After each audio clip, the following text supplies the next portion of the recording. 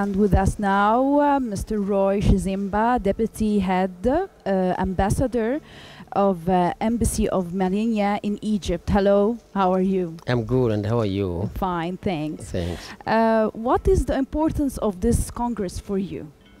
Uh, in actual fact, I think this is my second time to have a forum like this one. The first one we had, it was in the Marriott Hotel, Mhm. And uh, we have just received this invitation that we are having another meeting today. Mhm.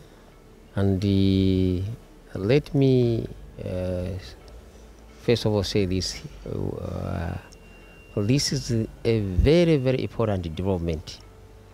You know, nowadays, uh, this disease of aortic, we call it uh, uh, cardiac uh, arrest, is you know uh, everywhere. So, with this new development, uh, the way uh, things are at the moment, I think uh, if things goes on well, the way uh, the uh, partners say that they just want to train young doctors Mhm. In Africa.